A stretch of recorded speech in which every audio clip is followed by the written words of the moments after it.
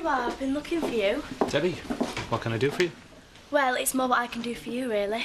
I want to volunteer to help with the Harvest Festival.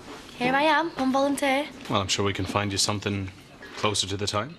Oh, there's nothing I can do today. It's just that I'm really bored. It's a lovely day. There must be lots of things you could be doing. Well, I was going to set up a collection point once I'm done with communion. You can help me with that if you really want to. Right, it's a date.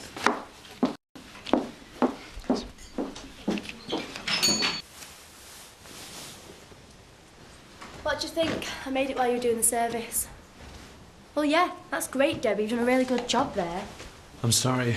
I was a million miles away. In Africa, by any chance? Look, you can talk to me about Neve, you know. I don't think it's fair of me to be burdening you with my problems. Why? I burden you with mine all the time. That's different. I'm your curate. Well, I thought you were my friend as well. I am your friend. Right, well, friends talk to each other, friends help each other out. Look, I'm okay. Next time I need a friend to talk to, I shall come to you. Where do we put the donation?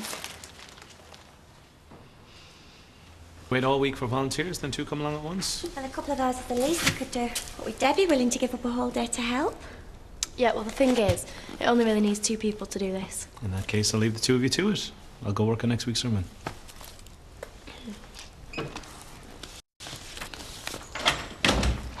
Good of you to do this, Debbie. I thought you'd been off playing with your friends. Playing with my friends. I'm not a kid. I know that. And plus, there's nobody worth bothering with round here. Well, what about Ethan? You seem pretty friendly with him. Well, we talk sometimes, that's all.